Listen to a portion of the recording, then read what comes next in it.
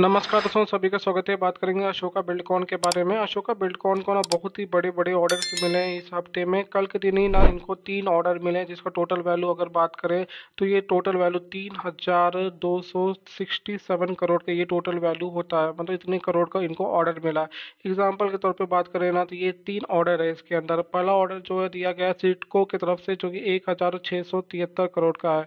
दूसरा ऑर्डर जो है महाराष्ट्र की तरफ़ से दिया गया है। महाराष्ट्र गवर्नमेंट जो स्टेट रोड डेवलपमेंट कॉर्पोरेशन संभालती है, वो एक हज़ार दो सौ चौरासी करोड़ का इनको ऑर्डर दिया तीसरा जो ऑर्डर इनको मिला है वो भी Maharashtra state road development corporation की तरफ़ से दिया गया, जो कि तीन सौ दस करोड़ का होता है। टोटल को ना प्लस कर लोगे तो आपको ना तीन हज़ार दो सौ सिक्सटी सेवन करोड़ का ये ऑर्डर बन जाता है। फिर भी देख रहे हो, यहाँ स्टॉक के अंदर हमको ना गिरावट देखने को मिल रहा है।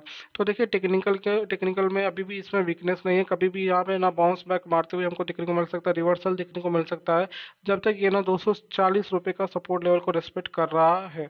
दो दिन से इसमें भले गिरावट देखने को मिल रहा है मगर यहाँ पे अभी सेलिंग पोजीशन बनाना रिक्सी रहेगा।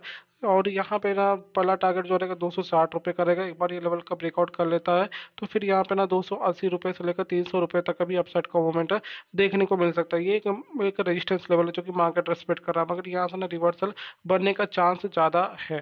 तो सारे कंडीशन तो सारे कंडीशन आपको बता दिए हम चैनल पर बार तो सब्सक्राइब ज़रूर करेंगे बाईस लोग को रिकमेंडेशन है जय